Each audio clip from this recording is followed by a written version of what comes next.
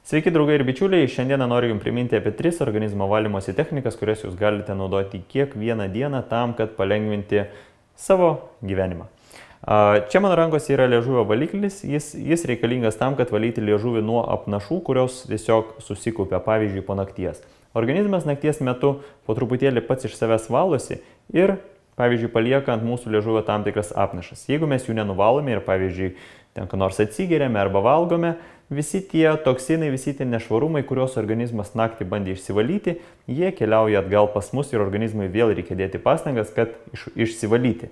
Tai tam, kad e, nereikėtų taip kankinti savo organizmo, mes imame tokį daiktą ir kiekvieną rytą sėkmingai valomės juo tuos nešvarumus, kuriuos jisai per naktį išskiria. Ir paskui, aišku, taip organizmas valosi, valosi, valosi, valosi ir paskui būna, kad jeigu gerai subalansuotas e, organizmas, jeigu ten tinkamus maisto produktus valgote, tuo apnašų mažėja, mažėja, mažėja, mažėja.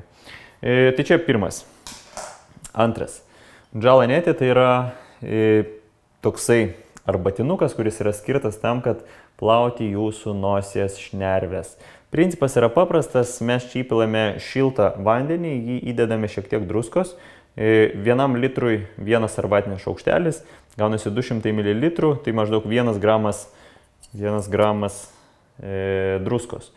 Šiltas vanduo įsipilam, išsimaišome, prisidedame į vieną nosies šnervį, įsistatome, palenkime galvą ir vanduo bėga. Tokiu būdu valosi mūsų nosies abu kana, pirmą į vieną, paskui į kitą. Ir tokiu būdu valosi mūsų abu nosies kanalai. Nuo gleivių, kurios tenais būna tiesiog susikaupia. Tai čia va antras būdas, e, yra vaizdo įrašas, turiu padaręs vaizdo įrašą, kaip ten, kaip ten ką daryti, paliksiu vaizdo įrašo nuorodą apačioje arba tiesiog parašykite kur nors džalą netį. Tikrai žinokit, yra internete daug labai informacijos.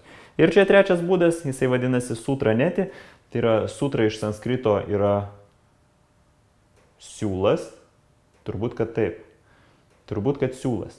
Palaukit, rusiškai nic, taip, Nic tai nusiūlas arba kažkoks toks, žodžiu, ilgas daiktas. Šitas dalykas, ką jisai daro, jisai, mes įdedamės į vieną nosies šnervę. Jis tai yra dar efektyvesnis būdas tam, kad iš, išsivalyti visą nosies ryties gleivinę. Mes e, šiek tiek e, pavilgome jį į aliejų, įdedame į aliejų, o tada dedamės į vieną mūsų nosies šnervę, tada išsitraukime jį per burną, gaunasi vienas galas burnoje, vieną galą laikome čia, kitą galą nosyje Ir mes tai vad gražiai į vieną, į kitą, į vieną, į kitą, į vieną, į kitą, į vieną, į kitą pusę. Ir paskui įsidedame kitą nosies šnervę, į vieną, į kitą, į vieną, į kitą, į vieną, į kitą, į vieną, į kitą. Ir tokiu būdu mes išsivalome savo uh, visą, visą nosies gleivinę nuo tų gleivių, kurios ten pas mus pastoviai kaupėsi. O jeigu pas mus va šitoje vietoje kaupėsi gleivės, toksinai, šlakai, automatiškai visi tie šlakai jie pradeda veikti ir va šitą sistemą, ir va šitą sistemą, ir akis pradeda veikti. Žodžiu, viskas yra labai labai susiję. Tai va tai kuo mūsų organizmas iš vidaus yra švaresnis, geriau funkcionuojantis, tuo mes geriau jausimės, tuo pas mus bus geresnė vidinė a, organizmo būsena ir tuo tiesiog gyvent mums bus lengviau, ramiau ir smagiau. E, vaizdo įrašus, kurie, kuriuos, kurie susiję su šitais Tik apie liežuvio valymą, žinokit, neturiu nieko padaręs, nu čia elementaru, tiesiog ryte, ryte atsikeli ir tiesiog nusigrėmži. Kaip daryti nosies plovimą su šitu ir su šitu, vaizdo įrašus paliksiu e, po šiuo vaizdo įrašu. Naudokite ir jauskitės gerai ir smagiai. Ačiū, kad žiūrėjote ir iki kitų susitikimų.